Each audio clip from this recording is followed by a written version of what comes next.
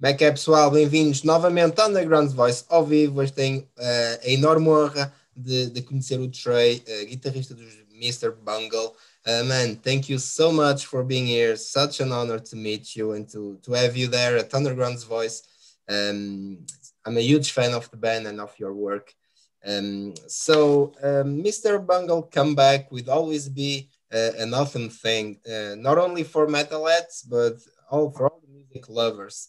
Uh, and this comeback after 20 years of something uh, was kind of unexpected. So when and why did you guys think about this return? Um, it was mainly a, a spontaneous uh, decision. I think um, Trevor was a, the, had the idea to do it um, as a death metal band to return to our, our roots. And like most bands that maybe unlike most bands that return to their roots, for us that meant you know playing thrash metal, and uh, or like kind of death metal, thrash metal. So that that appealed to all of us. Every other idea of doing a reunion was something that we would all be like, yeah, we could, yeah, that would be cool, but uh, just never inspired any of us. But this idea just took root, maybe partially because Dave Lombardo was standing there when the idea came up and then it's like okay well yeah we could we could definitely do this. Yeah.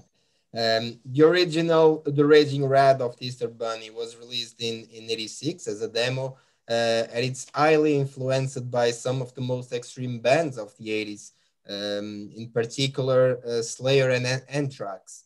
Um, and now, uh, as you said, you have the ex-Slayer drummer Dave Lombardo and the Anthrax guitar player Scott uh, on the band. Uh, it's awesome. So how was this possible? Well, I mean, I guess in some ways it's really uh, it's the most obvious thing to do, and also the most impossible dream.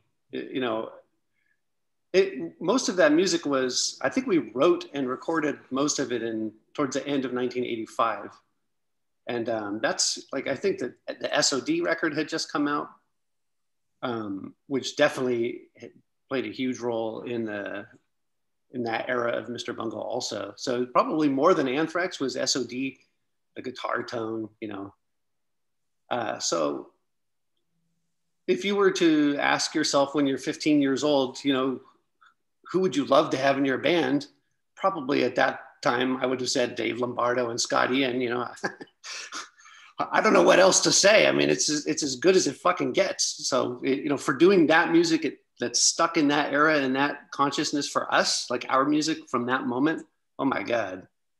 You know, even just asking them and saying them saying yes was incredible. I, I think we, we knew Lombardo was into it, but nobody really knew how Scott Ian would react. And his reaction was so great. Like he was already familiar with the music. He had been listening to it since the 80s. Like, I'm fucking believable. It's awesome.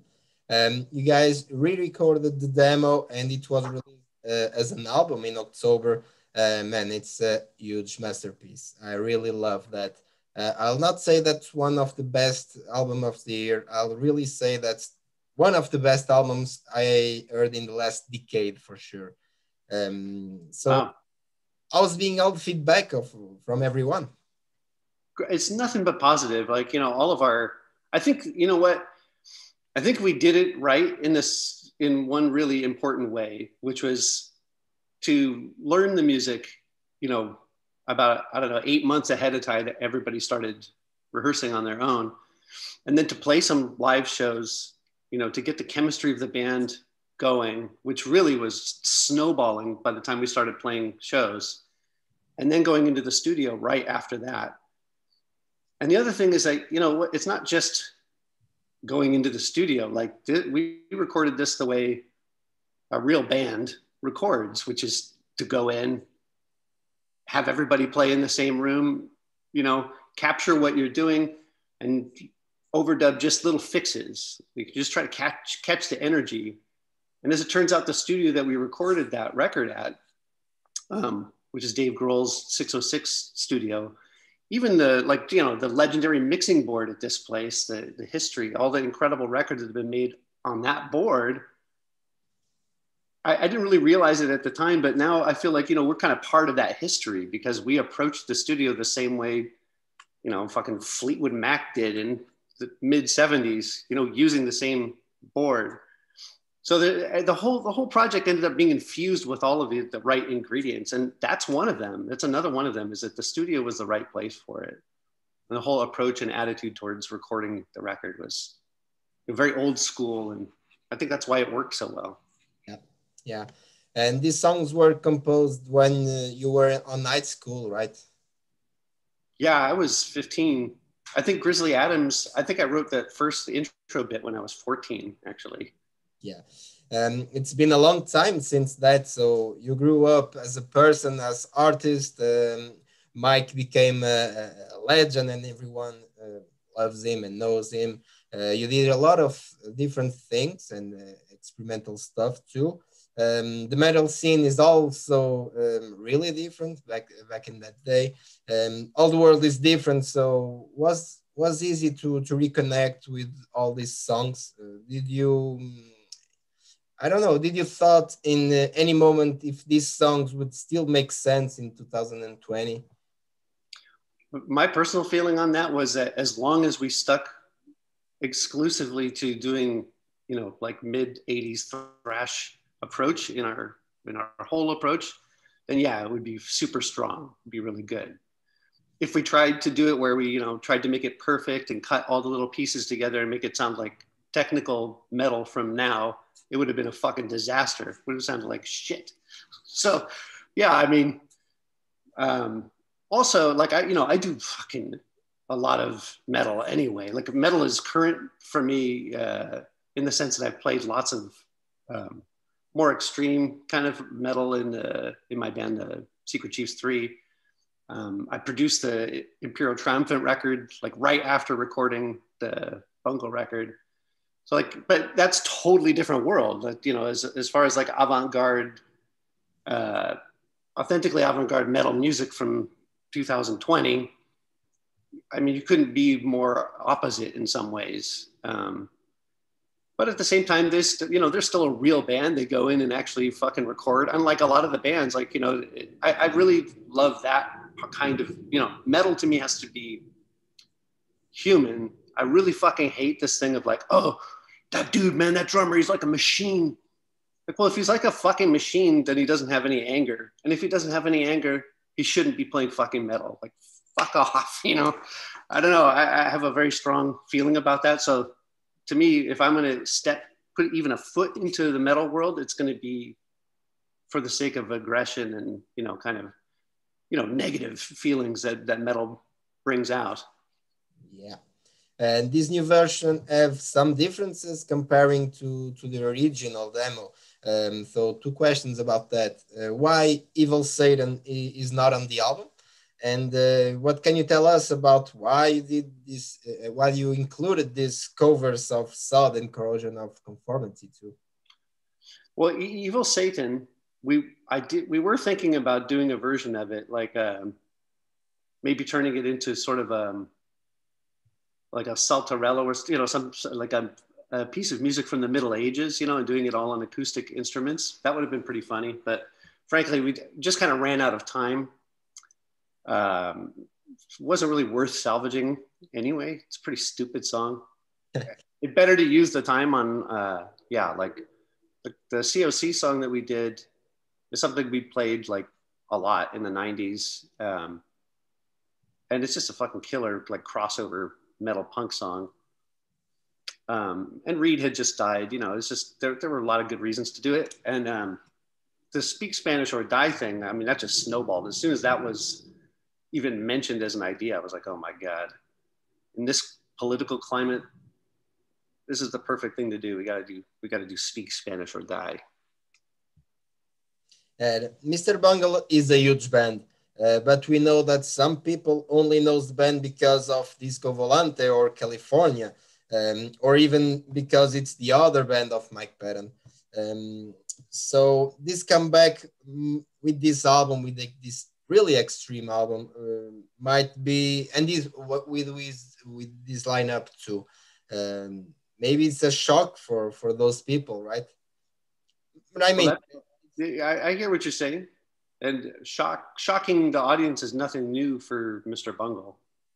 So you know, uh, and also the other thing that's nothing new for Mr. Bungle is doing whatever the hell we want to do. So, you know, that was kind of the idea too. Is this this is the right thing for us to do? We we all believe in it. Our hearts are in it. All the pieces are aligned. If there's people who are like, it doesn't sound like the clown album. I mean, we, we knew that. They were saying that when we did Disco Volante. They were saying, you know, people complaining they're not avant-garde anymore when we did California. Uh, you know, it's always it's always going to be that shit, and I respect that too because might not be your cup of tea. And also, the cool thing about the little trail of crumbs that we've dropped is that people who hate a record right away, a lot of them return to it a couple years later, and it becomes like their favorite record. Like just all of that is positive. Like there's nothing bad about any of that. So I, I think it's great when people like, I don't know if I like this metal shit. What the hell are they doing? Or even when metal people come in and are like, who are these old fucks trying to sound like Slayer? You know, I, I, it's fun watching the the fans be like, yeah, that's right, but they wrote this shit at the same time as Slayer, and that's Dave Lombardo, so fuck you. Like th- these debates are are awesome. Anyway, you're Mr. Bungle, so it, it always will be unexpected, right? I, mean, we, I swear we don't design it that way. It's just, you know, that's just kind of, we, follow our natural muse and it tends to be, yeah, not what people are expecting. I don't know why that's the case, but we're sort of used to that. Yeah. Well, I was born in 1990. So many of the classics, such Raining Blood of Master of Puppets or Rust in Peace or all these albums uh, were released even before I was born. So I listened to them uh, about 20 years later, probably for the first time. Um, even though they're considered the best album from from the history of metal, um, I've I've always wondered how people reacted back then to to this album because it was something new, never never done before by anyone. Um, so listening this album for for the first time, um, it made me kind of feel uh, that because it's literally um, an 86 album recording in 2019. Uh, so, um, do you think that um, this album uh, would be recorded as an album eh, back in that day? Would be um, would be such a, a, a, great album as the, the, the ones I said partially. Yeah I, I, think that if it had a proper recording back in the moment of it it um i mean depending. We we weren't really in the scene or anything. So you know the, all, the scene sort of determined everything in the thrash metal moment you know. So we never played at ruthie's inn. Like we didn't you know we weren't we were reading about that shit and we were imagining what it would be like to play with you know possessed and Mercyful Fate and Metallica or whatever, and uh, you know, at a fucking crazy place like Ruthie's, but uh, we weren't doing it and we couldn't. So we imagined it when we made it up. And I have a feeling that yeah, if we had gone into the studio at that time, it would have it would have worked out pretty good, you know. it wouldn't have been the same without Lombardo and fucking Scott Ian, obviously, you know, that's a difference. But I, I think we would have made our mark as a metal band. Yeah, definitely. The, the materials I hear it now. Like my favorite record from that time, besides Reign in Blood, is uh, Possessed Seven Churches, which to me still holds up like in every way. It's convincingly frightening, and the riffs are just so powerful and evil, and just it's just so wrong. That was another huge influence on us, by the way, was Possessed, like probably the biggest one uh, in a way.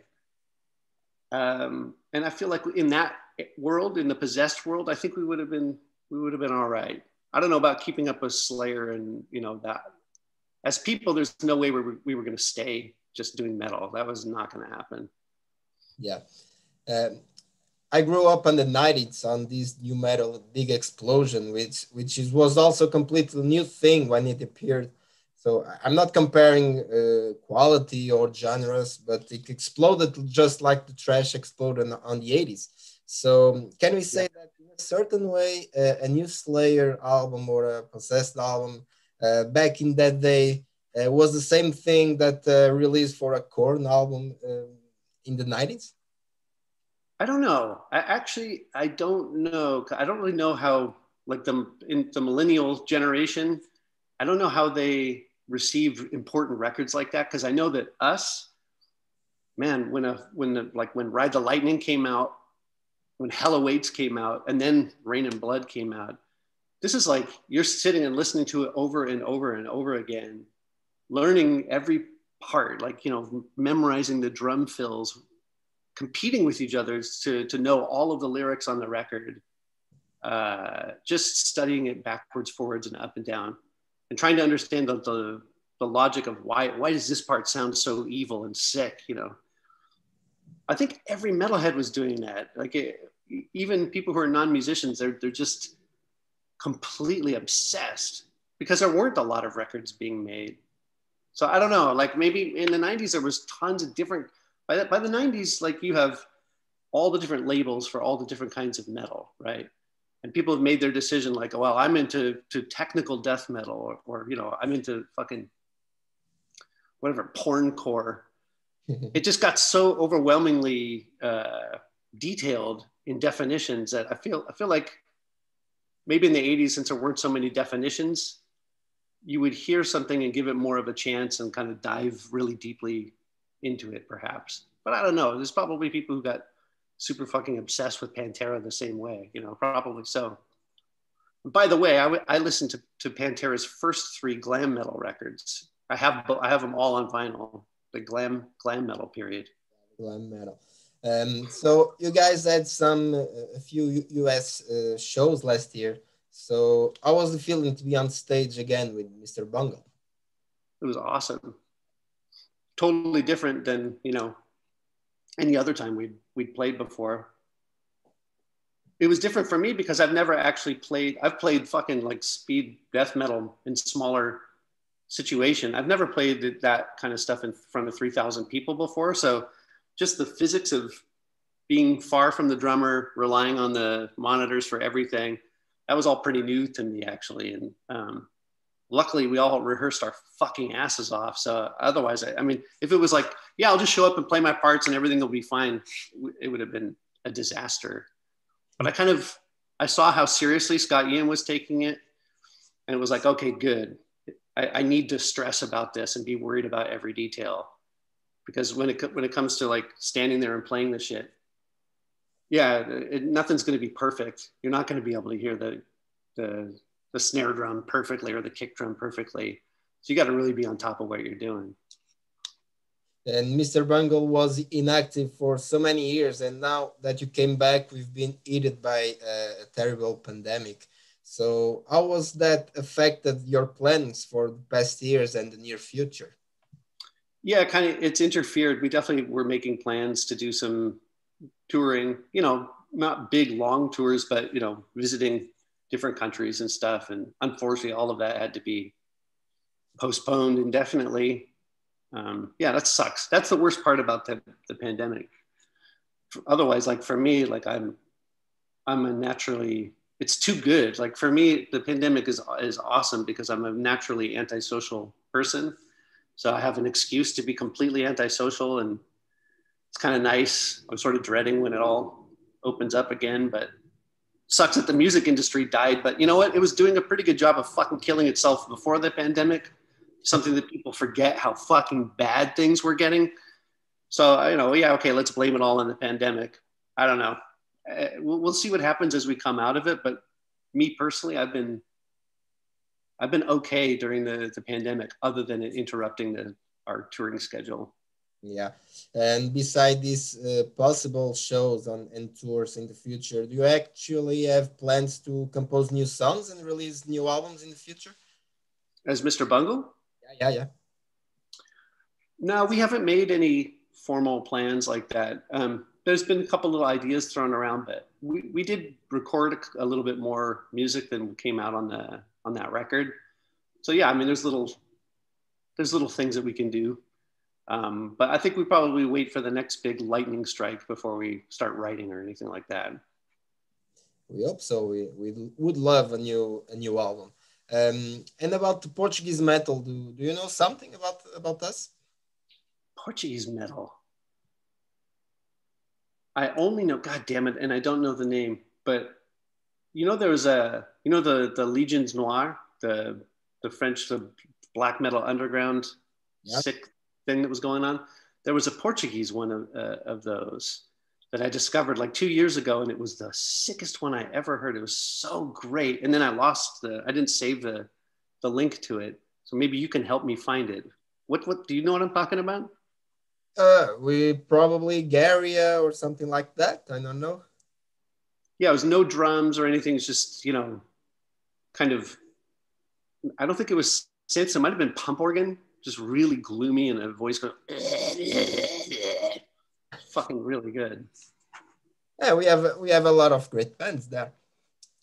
Yeah, I know. I, am sadly I'm not up on Portuguese metal at all. Like I, am up on Brazilian metal, but I've missed the the, the wagon. I would love to be educated on it because I'm sure there's great shit there. And so many great musicians in Portugal. It's ridiculous. Yeah, we have.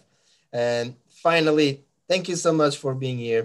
Uh, it's a huge honor to, to meet you once again and to talk to you and to have you there at Underground's Voice. Really an honor. Uh, so thank you once again. And last words for the Portuguese fans and Underground's Voice viewers.